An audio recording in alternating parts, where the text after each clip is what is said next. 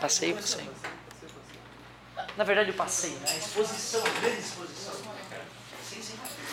Ô, galera, olha só. Vou fazer um comentário sobre a exposição.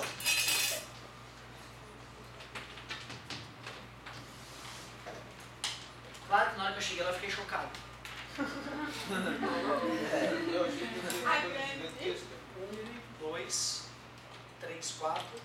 6, 7, 8 banners. Oito banners, dois projetores legais com né, brincadeirinhas para a pessoa de um nível né, inferior ao teu para ainda explicar a coisa. Se bem que eu tenho certeza, vou perguntar para vocês no próximo trabalho. O próximo trabalho vai ser só sobre exposição. Porque, é claro, porque tem um monte de gente que agride andando. Desculpa, pai, desculpa, não. Tem um monte de gente distraída, pai, sem interesse.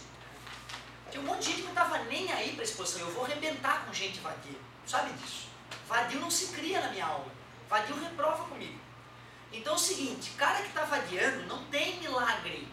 Tem que exercitar para poder conseguir aprovação. Tem que manter a calma, cara, quando eu lembro de algumas cenas que eu vejo, né, cara? Meu Deus.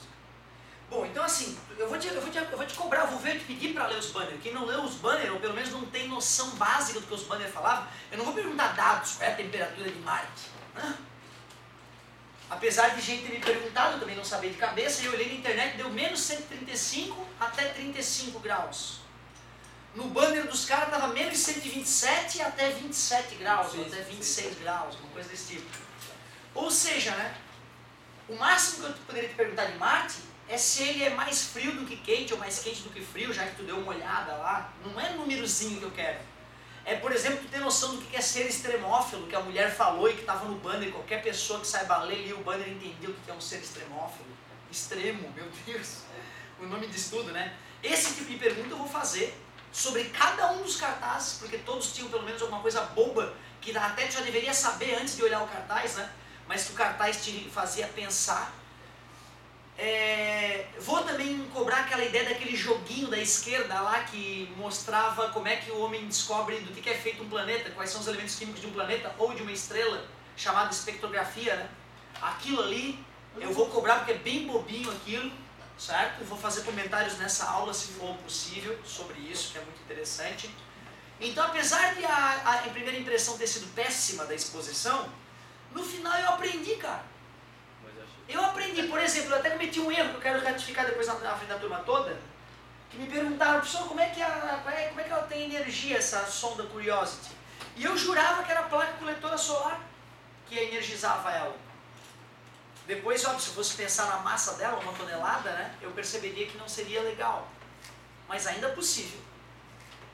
E aí o Guri falou, né? Escutei o professor Rui comentando, ah, o cara a energia é termonuclear, tem material nuclear lá, né? Material radioativo, que aquece alguma coisa e, e gera energia. Eu, é termonuclear, cara, mas como é que vai ter espaço para converter o vapor d'água em energia, que geralmente energia nuclear é assim, né? Tu aquece água, gera vapor d'água, esse vapor d'água passa por uma turbina, tipo uma turbina de avião, só que muito maior, maior que essa sala, e a turbina gira, gira um eixo que está conectado a um gerador de eletricidade, que são ímãs que ficam girando em volta de fio enrolado e faz energia elétrica acontecer, transformar energia térmica em energia elétrica.